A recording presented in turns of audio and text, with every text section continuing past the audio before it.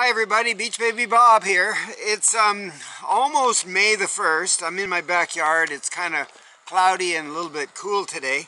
It's supposed to be um, cool tomorrow and then it's supposed to get warm again like summer. But anyway, I thought I'd better share the story, The Very Quiet Cricket by Eric Carle with you today out in my backyard because it's about uh, creatures that you might see in your backyard.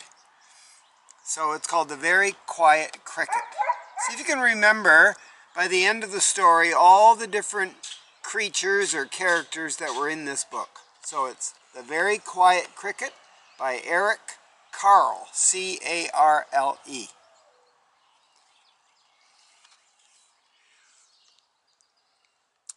One warm day, from a tiny egg, a little cricket was born. Welcome, chirped a big cricket, rubbing his wings together. The little cricket wanted to answer, so he rubbed his wings together. But nothing happened. Not a sound.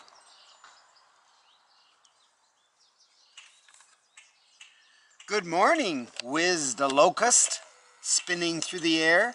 The little cricket wanted to answer, so he rubbed his wings together. But nothing happened. Not a sound.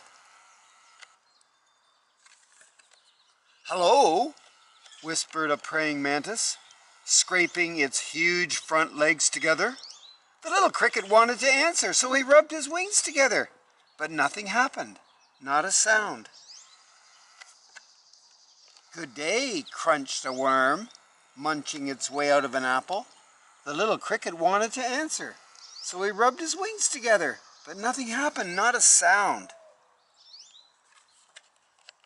Hi, bubbled a spittlebug, slurping in a sea of froth. The little cricket wanted to answer, so he rubbed his wings together again, but nothing happened, not a sound. How are you? hummed a bumblebee, flying from flower to flower. The little cricket wanted to answer, so he rubbed his wings together, but nothing happened, not a sound. Good night, buzzed the mosquitoes dancing through the stars. The little cricket wanted to answer, so he rubbed his wings together, but nothing happened, not a sound. A luna moth sailed quietly through the night, and the cricket enjoyed the stillness.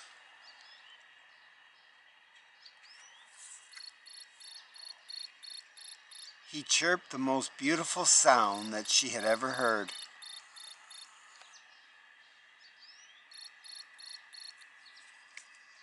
That's the end. So this is what happened to the worm in the story, The Very Quiet Cricket. Watch closely.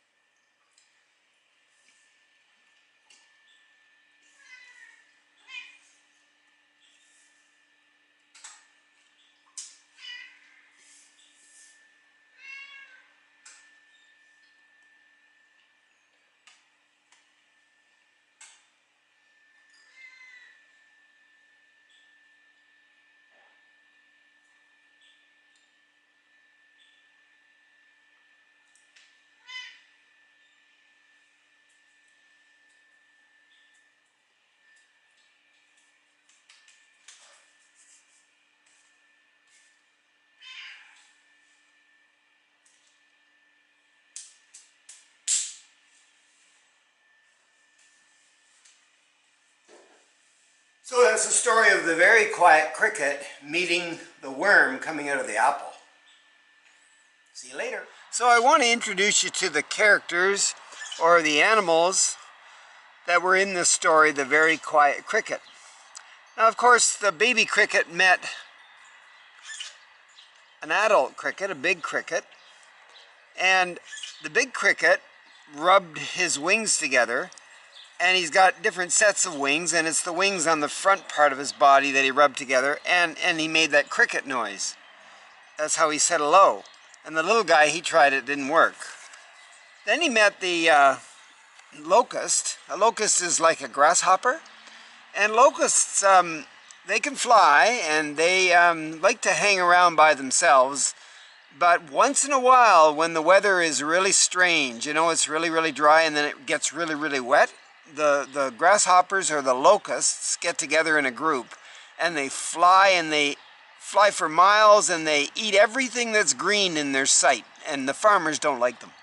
Anyway, um, the little cricket wanted to say hello. He tried rubbing his wings together. It didn't work. Nothing happened. And then he met the praying mantis. Now, when the praying mantis, this is the, the uh, insect with the long, long neck and the funny triangular head. When the praying mantis, when the boy praying mantis meets the girl praying mantis, they fall in love and uh, as they're kissing and hugging and making a baby, the um, lady or the female praying mantis eats the male praying mantis by biting his head off first and then he eats him. She eats him. So anyway, the little cricket tried to rub his wings. It didn't work. No hello there. And then there's the worm coming out of, uh, which is not an insect. Anyway, the worm's coming out of the apple, and I've got another little story about that worm. I'll tell you that in a minute. And then there's a spittlebug. A spittlebug is an insect that uh, likes to eat green plants, and in order to protect itself from other things like birds that might eat it, it spits out of the sides of its body, makes this foamy spit, on the plant and then hides itself inside there while it's eating. Anyway, no noise coming from the cricket. No hello there. And then the cicada is another kind of a, a creature that hangs out in the, in the tree and makes this really, really weird screeching noise on a hot, hot summer day. Anyway, the little cricket couldn't, couldn't get a noise out of his wings, so no hello there.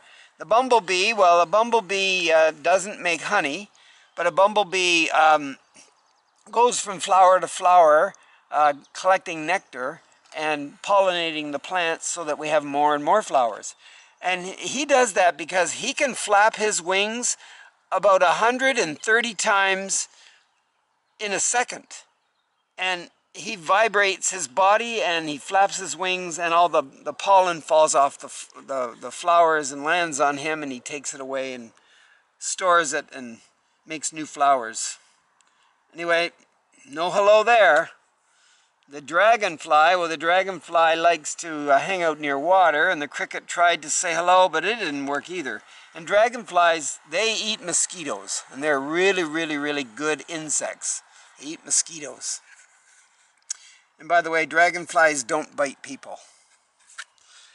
And then we've got the mosquitoes here at nighttime, and they're, they like to come out when it gets dark, and they like water too. So if you've got any water around your backyard, you're going to have mosquitoes. And um, the mosquitoes sometimes carry germs, and so thank heavens for the dragonfly. But no hello there. And then the Luna moth, well a Luna moth only lives, it's a big huge moth, and it only lives for one day. And once it gets to be an adult, a big moth, it um, looks for a girl, uh, a girl to have babies with. The boy does, and uh, that all happens in one day, and then it dies. But it's very beautiful, and Luna means moon, and it kind of um, has colors and shapes on its wings that looks like a moon.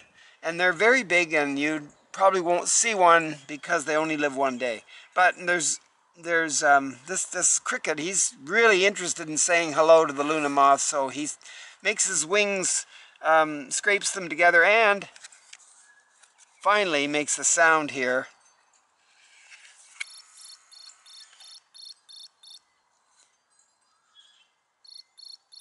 And by the way, only boy crickets can make a sound. And it has a lot to do with the temperature outside too. The temperature has to be just right. So maybe that's why he couldn't do it all the way through the story, or maybe he was just not old enough. But they're saying hello. And crickets make three different sounds. One is hello, one is I like you, you're a girl and I'm a boy, and we want to make babies together, I think. So they make a different sound. And then they make a sound sometimes when they're, they're fighting. The boys fight over the girls. So that's the very quiet cricket. I hope you liked it. Good afternoon, screeched the cicada, clinging to a branch of a tree. The little cricket wanted to answer. So he rubbed his wings together, but nothing happened, not a sound.